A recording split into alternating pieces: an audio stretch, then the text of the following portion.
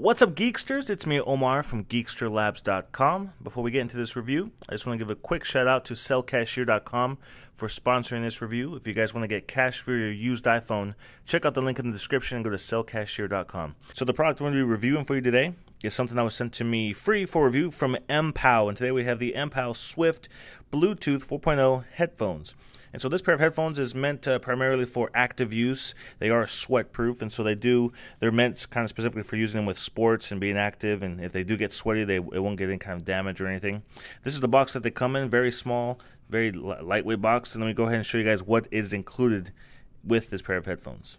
So first off, we have the instruction manual. Next, we have some extra ear tips, so the, they come with the, the size large on there, but the medium and smaller are also included in here. And we also have some extra ear loops as well. So there's two different types of ear loops. This is the first kind that come with it. This is the second kind of ear loops that come with it. So these are like ear hooks. And if you're familiar with Jaybird's uh, Blue Buds Bluetooth earphones, this is actually almost identical to the ear hooks that come with that pair of headphones. So that's the other additional pair. So there's there's two around here, and I actually have a, a, a, three of them come total. I have a pair on the earbuds right now, and so this is the extra, the large and the uh, the small ones that are on here right now. Also included is the USB cable. So since this is a Bluetooth pair of headphones, they need to be charged up. So this is a micro USB to regular USB, and I'll show you where you plug that into the headphones so you can charge them up to get a full uh, full charge on them. Alright guys, so here we have the earphones themselves. As you can see, I have the black and neon green version. There's actually a bunch of different color variations you can pick from. And like I said, the, this is available on Amazon for $30, so very affordable pair of earbuds, Blue, Bluetooth earbuds. And uh, I'll put a link in the description if you're interested in purchasing them. So these are, like I said, active earphones. They're sweat proof. They have a built-in microphone as well, so if you do want to answer phone calls, you can do that. If you turn this one over here, as you can see, there is a small little hole right there on the bottom, right there, and that's that is actually the microphone. As you can see on the side here, we have the plus and minus for uh, lowering, raising, and lower the volume when it is plugged into your ear. And the uh, this other port right here, with the one with the logo on it, that is the on switch. So you hold that down for a few seconds, it should light up. There it goes, it's blinking blue. So lets you know that it's plugged in. When it's not synced up with anything, it'll blink blue and red to sync up to your device. So that, and you just to turn it off, you hold it on a couple more seconds and turns red, and there you go. That's also the same button you're going to press to answer phone calls, because like I said, it does have a microphone, so you can answer phone calls. I mean, the the mic is on your ear, so it's a little bit far from your mouth, so it's not something I would probably would think I would want to be using for long periods of time to talk on the phone. But if you're in the middle of a workout, you don't want to pick up your phone to answer the phone call, you can easily just press the button, answer the phone call really quickly, let them know you're working on or doing something active, and then hang up, and you should be good to go.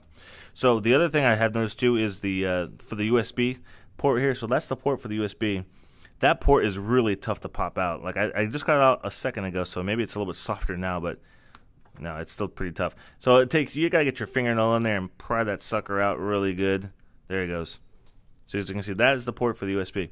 So the cool thing about this pair of earbuds, even though they're not that large, they actually will give you five hours of playtime. So you can play music on them for five hours, or if you want to talk on them, you can talk on them for five hours as well. And it has 185 hour uh, standby time. So if you're not using them at all, you don't have to charge them up; they're just sitting around for over 100, 185 hours. So that's really nice. So the actual overall size of them is kind of large compared to some of the other earbuds out there. And I did notice that without the ear hooks, there was no way they're going to stay inside my ear. They do kind of stick out quite a bit. So if you're doing things like CrossFit or just jumping around, running on a treadmill, things like that, where you're going to be moving around a lot, playing basketball or something like that, really, really active and move, a lot of movement, you're going to want to use the ear hooks. I found that the ear hooks are a little bit better to keep them in your ears there were still times when I felt like they were going to fall out of my ear while I was using them, especially when you start getting real sweaty.